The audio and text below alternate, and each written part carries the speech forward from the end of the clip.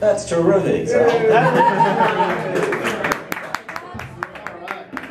terrific. I don't know what I like most about that video. It's hard to hard to choose between the uh, the reggae beat. I like reggae. It's pretty good.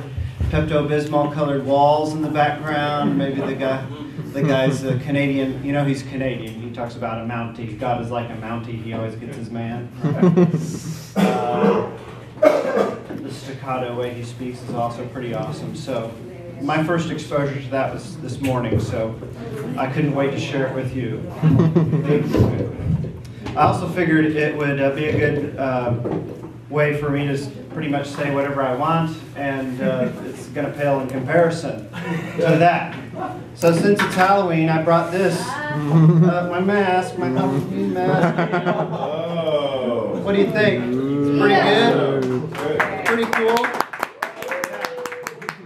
My sister got this down in Oaxaca when she was uh, on avoiding uh, Christmas celebrations because she's married to an atheist.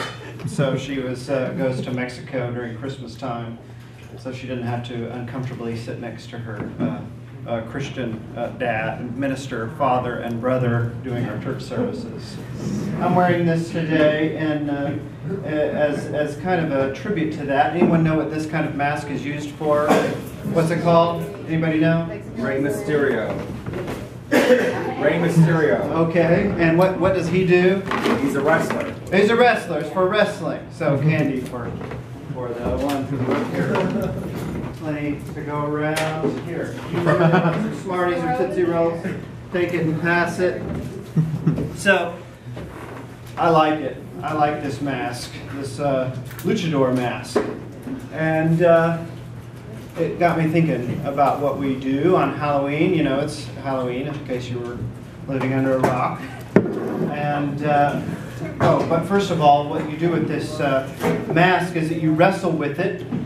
And uh, I, this is kind of a, something that I have enjoyed over the past couple of years. I have a uh, copy of this. It's actually a stenograph of this work by Ja- Jack Baumgartner, who's an artist up in Wichita.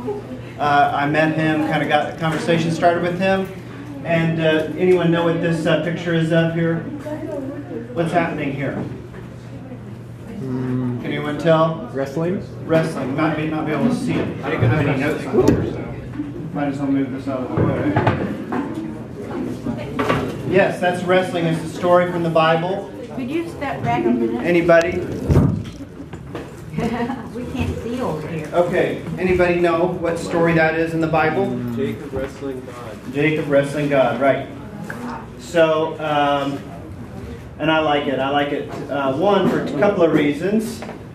One, okay, so just a little, last time on Nathan Mattox Comes to Wesley Foundation, this is actually what I spoke about, but I know some of you probably weren't here that day. So just a quick reprise. Look at where God is grabbing Jacob. You see that? So during this wrestling match, it doesn't say this in the Bible. This is kind of an invention of the artist, which I think is a really clever invention because it kind of speaks to something, uh, a theological perspective, perhaps. This is God's. Uh, this is God right here, the one in the robe. Jacob is is naked, uh, wrestling. God, I, I like this whirlwind here because the chaos. God comes and speaks out of the chaos, according to uh, according to Job, right? The book of Job. And uh, and then he's grabbing Jacob here on his ankle, right? Anyone know the story of Jacob's birth? Jacob is a twin, right? So his his twin brother comes out first, and Jacob is grabbing onto his uh, ankle as he's being born, and so he's kind of grasping is kind of uh, uh, a meaning of his name, grasping, and so God is grasping him. Okay, so what is one way that God grasps us? What's one way that uh, uh, God gets our attention? Uh, is is sort of what the key is to knowing how to tell your own story, your own witness, your own testimony about Jesus grabbing you. I, I was raised in the church. I'm as I've said before, I'm a minister's son, uh, Methodist minister's son. I grew up in the church. It's kind of like my home.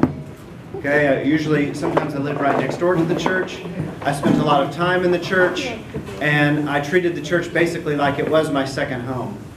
Good for good and for ill, right? Breaking windows and all that kind of stuff that preachers' kids get into. Um, but when you spend a lot of time in a place, it kind of grows on you. And uh, so, I made it my own profession too, or, or didn't exactly make it my own profession. I was called to it. I'll talk to you a little bit about how I was called to it. David, we do the next slide. Okay, so today is uh, all, is All Hallows Eve, All All Saints Eve, or it's the Eve of All Saints Day, uh, November first, in kind of the British Isles, among the Celts, and some of those people who predated the Christians uh, celebrated a, a, a, uh, holiday on November 1st called Samhain. I think it was on November 1st. And so the Christians came in, they said, What happens on Samhain? Well, the veil between the living and the dead is thin on Samhain. That's why people dress up as ghosts and ghouls and stuff like that and put candy out for the ghosts and ghouls who might be you know, wandering around looking for a place to haunt. So you put something on your doorstep, and they'll stay away from your house. That's why we trick or treat. And uh, and so the so the Christians thought, well, we can also celebrate this day called uh, All Saints Day on uh, on November first, and. Uh, and so it's going to be an important day for you to be in church, pagans. We're going to think about all the people who have died over the past year and all those saints that we want to glorify, and they'll be uh, lifted up in this special mass. Okay, and uh, and so then the pagans say, okay, we'll do that, and then and then to us, as as Paul said in his letters, uh, it's not something we can really grasp with our minds. Uh, what our new body will be like, and uh, and how we will live on after death. And I just figured this is kind of a good uh, a good focus for us on this day, on this All Hallows Eve, thinking about death and thinking about the saints of light and thinking about our place in the cloud of witnesses as living members. As I said about the uh, mask that I have, you know, sometimes we wear uh, sometimes we wear masks and we we lose our focus, as one of the students said uh, before we before our gathering today. He said, students oftentimes we just not only lose our focus on tests, but we lose our focus on kind of like the test of life, right? We lose our focus as to as who who and whom whose we are, right? Uh, and when we lose confidence, maybe you lose your focus, you lose confidence, don't you?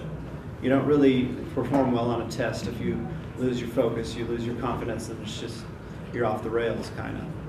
Well, um, Paul said, "Don't uh, don't fret about what the uh, world hereafter is going to be. Just know that God's got you in God's hands. Like you're you're." The, the, our new body is glorious. It's something that we can't even comprehend right now. And, uh, and I like this painting because this is also an All Saints Day painting representing the, the saints of light in kind of a transfigured state, right? Here was a uh, speaking of a mask being being uh, on. Now we see only a reflection as in a mirror. Then we shall see face to face. Now I know in part. Then I shall know fully, even as I am fully known. Like the Canadian, the dorky Canadian singer said, he loves me when I'm perfect, if that's a, what I shall be, or something like that, right? That's the way that we Arminians think about our project here on life. Striving toward perfection, striving to uh, let the world see that light within us, and uh, know, knowing that uh, that's what we see when we look into each other's eyes and engage each other too. Um, I just hope that that's a daily uh, part of your call uh, as as I try and strive to make it uh, part of mine. Um, you know, we fall short of that uh, of that project, but First John assures us, dear friends, now we are children of God, and what we will be has not yet been made known. But we know that when Christ appears, we shall be like him for we shall see him as he is. Thanks for the opportunity to speak to you again and have a fun Halloween. Take care.